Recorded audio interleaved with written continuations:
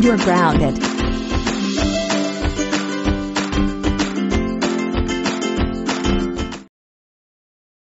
Okay class. Today we will. Alright. Who threw a soccer ball at me? Was it Caillou? Nope. It was Evil Peg. Evil Peg! Go to the RJ Kumar's office right freaking now!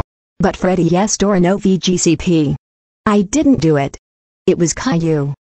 Ha! I like we story. Go right now. Or I will kill you.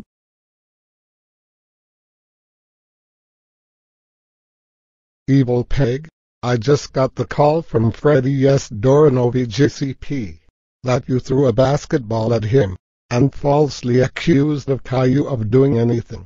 That's so it. Get out of the school. Evil pet, evil pet, evil pet, evil pet, evil pig. Get over here right now. Evil Peg. I can't believe you got suspended for blamed at school. What the crap? What Peg happened to him? Well, well, well. I just got plastic surgery for Valentine's Day because I'm so angry out of you. Plus, you're grounded forever. And I'm going to take your gun away. Na na na na na na na na na na na na. Please don't take my gun away. I want to kill Peg and Cat. Why? Well, that's too bad. You will get nothing for Easter this year. Go to your room right now.